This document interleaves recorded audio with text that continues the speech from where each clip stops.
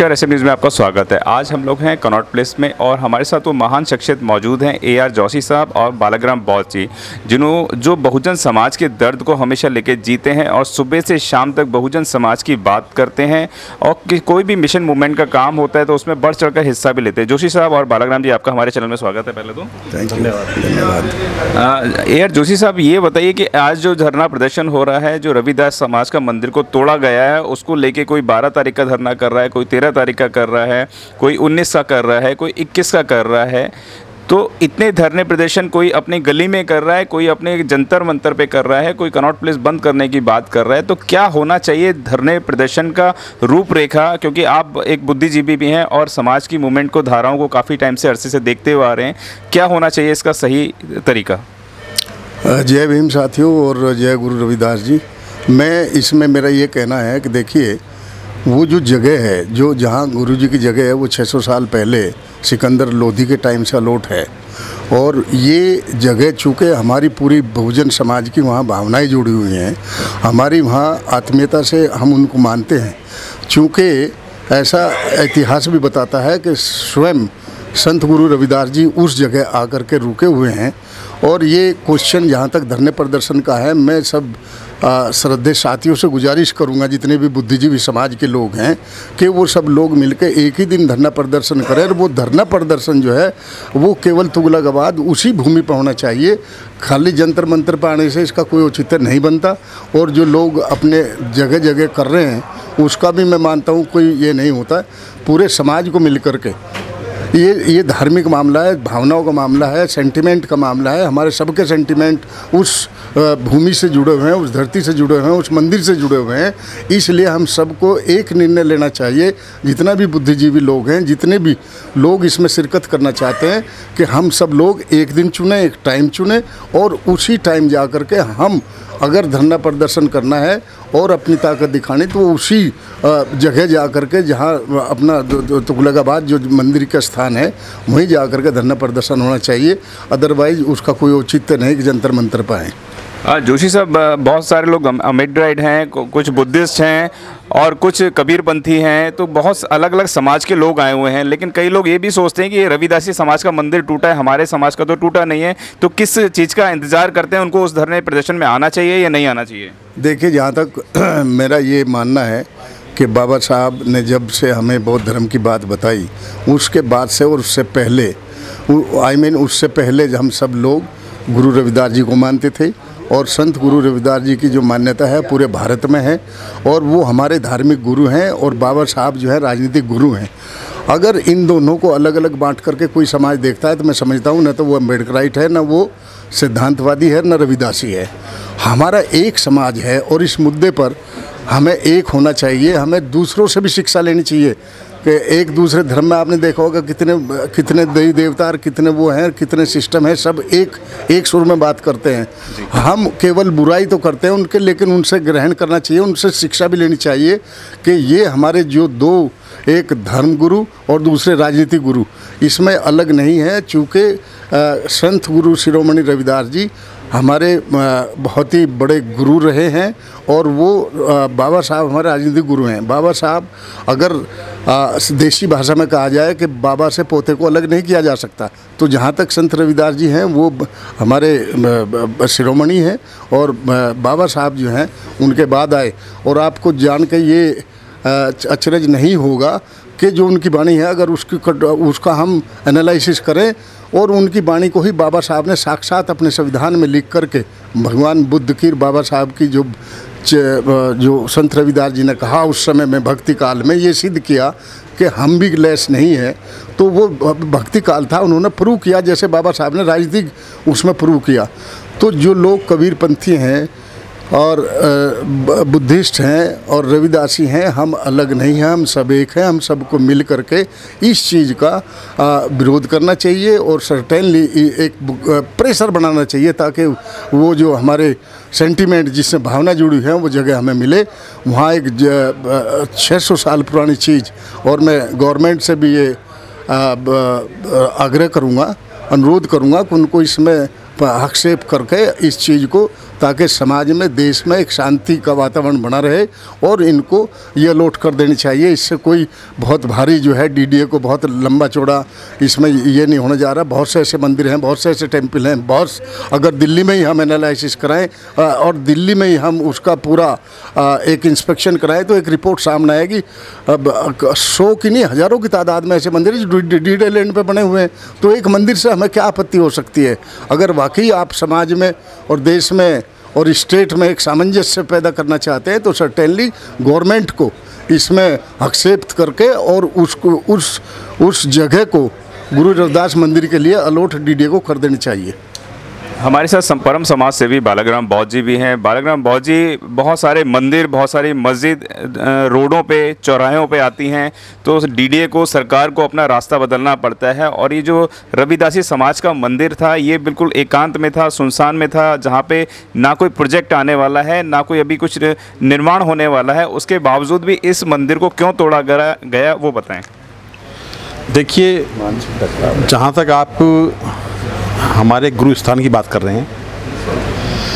ये बात आपकी सही है कि देश में जितने भी मंदिर बने हुए हैं, ज़्यादातर मंदिर सरकारी भूमि बने हुए हैं, पार्कों में बने हुए हैं, रोड पर बने हुए हैं, और उन मंदिरों को कोई डिस्टर्ब नहीं किया जाता। क्योंकि उन मंदिरों में को बढ़ावा दिया जाता है, जबकि उन मंदिर से लोक हित में एक व्यवस्था होती है ट्रैफ़िक डाइवर्ट होता है, उससे ही परेशानी होती है। उसके बावजूद भी मंदिरों को ऐसे रखा जाता है। जहाँ तक आप देखें, हमारे जो तुगलकाबाद के गुरु स्थान की बात कर रहे हैं, इस भूमि की विकास प्राधिकरण को ऐसी आवश्यकता भी नहीं है। उस भूमि से किसी कोई लोकहित में कोई व्यवधान भी नहीं हो रहा, उससे कोई वहाँ कोई रोड भी नहीं है, कोई ऐसी लोकहित की कोई प्लानिंग भी नहीं है। उसके बावजूद भी गुरु स्थल को डिस्टर्ब करना, ये एक सरकार की सोची समझी एक रणनीति है, षड्यंत्रकारी रणनीति है। कि समाज में किसी तरह से बंटवारा किया जाए। जैसे कि समाज में ये अब एक मैसेज दे रहा है कि गुरु संत रविदास तो गुरु मतलब रविदासी समाज के थे। जबकि मैं ये कहता हूँ कि वो रविदासी समाज के नहीं वो पूरे मानवता के थे। इस देश में अगर आप देखो तो तथागत बुद्ध के बाद संतों में रविदास जी कबीर नानक ठीक है और ज्योतिबा फूले बाबा साहब अंबेडकर तो ये सब एक विचारधारा के एक चैन बनी हुई है, जिस, जो कि पूरी एक, पूरी मानवता कल्याण के लिए है, ठीक है तो ये ठेस जो पहुँचाई गई है, ये रविदासी समाज में नहीं पहुँचाई गई है, ये ठेस एक पूरी मानवता को पहुँचाई गई है। इसके लिए सरकार को स्वतः ही संज्ञान लेके, सरकार को इस पर जो है ना अपना एक संज्ञान लेना चाहिए, और वो ज़मीन पुनः गुरु रविदास स्थल के लिए उसको निर्माण कर देना चाहिए। और जहाँ तक आप कह रहे हैं कि आंदोलन की बात कह रहे हैं, आंदोलन के लिए जो स्थल तुगलकाबाद का है, उसी स्थल को वहाँ पे चिन्हित किया जाए और उस पर एक डेट फिक्स करके वहीं पे पुष्पांजलि का एक कार्यक्रम रखा जाए। ठीक है? उस पर पुष्पांजलि की जाए, क्योंकि हमें उन पे फ़ोटो पे माला की ज़रूरत नहीं है। हमें विचार पे डालना है। हमें हमें हमें उस विचार को समाज तक ले जाना है जिस विचार से समाज का कल्याण होना है। अ, बालाग्राम बौद्ध जी के बारे में बता दूँ कि बहुत अच्छे समाज से भी हैं और बहुजन समाज की पीड़ा को बहुत अच्छे से ही समझते हैं। और 2 अप्रैल को जो बच्चे शहीद हो गए थे समाज के नाम पर उन बच्चों को मूर्तियों का काम देने का करा और समाज में उन्हें घर जगह जाकर उनको एक आर्थिक सहयोग भी दिया। बालाग्राम बौद्ध जी जो इतना बड़ा आंदोलन होने वाला है रविदास जी समाज का 19 तारीख और 21 तारीख का। इसके पीछे कोई रणनीति नहीं होती है अगर कोई बच्चे फंसते हैं किसी को कोई परेशानी होती है तो लीगली कोई आपका नहीं है स्टेप आपका मेडिकली कोई स्टेप नहीं है. आपने क्या करना है उसकी कोई रणनीति नहीं है. तो ये सारी रणनीति किस तरीके से होनी चाहिए एक किसी भी इतने बड़े आयोजन को करने के लिए किस तरीके से आयोजन करना चाहिए वो हमें बताएँ। देखिए आयोजन क्या होता है कि जो आयोजन अगर लोकहित के लिए होता है जी। जनता के हित के लिए होता है तो सफलता की तरफ़ जाता है। जी। और अगर किसी संस्था के द्वारा किसी निजी स्वार्थ के लिए अगर कोई आयोजन किया जाता है जी। तो जनता उसको समझती है। इसलिए वो आयोजन फेल हो जाता है। समाज में जागृति पूरी है। आपने देखा होगा दो अप्रैल का एक आंदोलन हुआ। ठीक है जी? सरकार को झुकना पड़ा। और मैं तो कहता हूँ कि दो अप्रैल के आंदोलन के बाद सरकार को समझना चाहिए कि सरकार इस तरह कोई ऐसा ऐसा कदम ना उठाए जिससे जन भावना को ठेस पहुँचे। तो देखिए ऐसा नहीं है जो जो अप्रैल जो, अप्रैल के बच्चे हैं उनको भी हेल्प मिली है। और जहाँ तक इस आंदोलन की बात है जो आंदोलनकारी हैं या जो लीड कर रहे हैं मैं तो उनसे निवेदन करूँगा आपके माध्यम से कि वो एक योजनाबद्ध बना तरीके से बना के चलें और लोकहित के लिए चलें। अपना निजी स्वार्थ को त्याग दें। ठीक है जी? और जो हमारे महापुरुष हैं उनकी विचारधाराओं को महत्वपूर्ण समझते हुए उसकी विचारधाराओं को अपनाने लेकर जोशी साहब एक आखिरी सवाल मैं आपसे करूँगा कि जो बहुजन समाज के जो रहनुमा थे वो बाबा साहब डॉक्टर बी आर अंबेडकर थे और उन्होंने बुद्ध धर्म अपनाया। और बुद्ध धर्म अपनाने के बाद उन्होंने तमाम चीज़ों को छोड़ दिया। लेकिन अभी 21 तारीख को बताया जा रहा है कि अगर 21 तारीख को रविदासी समाज का फैसला रविदासी समाज के हित में नहीं होता है तो वो तमाम जितने भी देवी देवता हैं, उन सबको अपने मंदिर से निकालकर बाहर छोड़ेंगे। तो ये कार्य कहाँ तक सही है या नहीं है? बहुजन समाज के देवी देवता हैं या नहीं है, उस पर भी रोशनी डालें। देखिए, जहाँ तक बहुजन समाज के देवी देवता का प्रश्न उठता है अगर आप आदिकाल में चले जाओ कभी भी आपने देखा होगा हर जगह इनका तिरस्कार हुआ इस समाज का तिरस्कार हुआ बहिष्कार हुआ इसको इनको कभी मंदिर में जाने की कोई आ, किसी ने अलाउ नहीं किया। यदि कोई आनंद फान में मंदिर में चला गया तो उसके साथ जो उसकी बेइज्जती हुई या जिस तरह से उसको प्रताड़ित किया गया, वो किसी से छिपा नहीं है। इवन मैं आपको एक उदाहरण देना चाहूँगा कि 2013 या 14 में शायद पूरी मंदिर में किसी को जाने नहीं दिया गया था यहाँ से एससी कमीशन के चेयरमैन थे मिस्टर पी एल पूनिया। और वो वहाँ मंदिर में जाना चाहते थे, जैसे उसको वहाँ के महंत को पता चला कि ये, कि मंदिर में जा रहा है तो वो मंदिर बंद करके भाग गए। तो आज भी, आज की स्थिति भी ये है कि आज भी मंदिर मंदिर में जहाँ ये छोड़िए आप शहरों की बात, लेकिन लोकल में अगर आप जाइए, देहात में जाइए, रूरल एरिया में जाइए तो सर्टेनली आज भी उसी तरह की भावनाएँ हैं। और बाबा साहब ने भी कहा था कि एक केवल आडम्बर है, जो जो ये देवी देवता जिनको हमें डरा कर रखा हुआ जैसे ठीक उसी तरह से, जैसे एक खेत में, एक खेत में डरावना गाड़ देते हैं। और उससे डरता है कि भाई पक्षी नहीं आएगा, खेत नहीं खराब करेगा। ठीक उसी तरह से ये सारा जो सिस्टम है, ये उसी पैटर्न पर है। एक डरावा और भ्रम पड़ा हुआ है, कहीं कुछ भी नहीं है।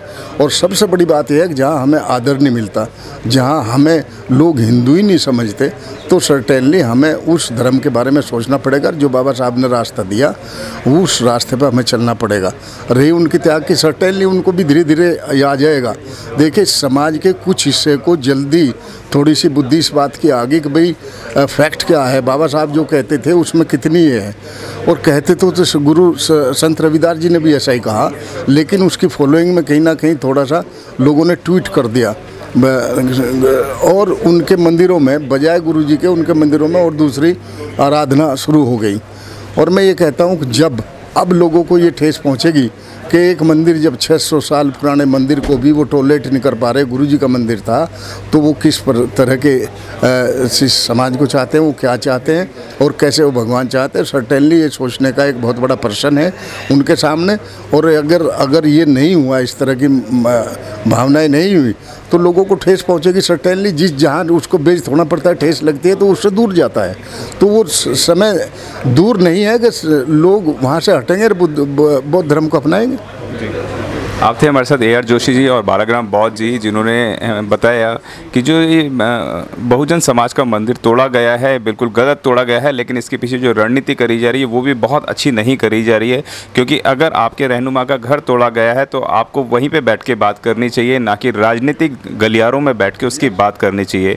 आप लोगों ने हमारे चैनल से बात करी इसके लिए बहुत बहुत धन्यवाद आपको। थैंक यू थैंक यू धन्यवाद थैंक यू वेरी मच जय भीम। अगर आपने अभी तक हमारा चैनल सब्सक्राइब नहीं किया है तो सब्सक्राइब करें और घंटी का बटन बिल्कुल भी दबाना ना भूलें, ताकि सभी लेटेस्ट खबरें पहुँच सकें आप पे सबसे पहले।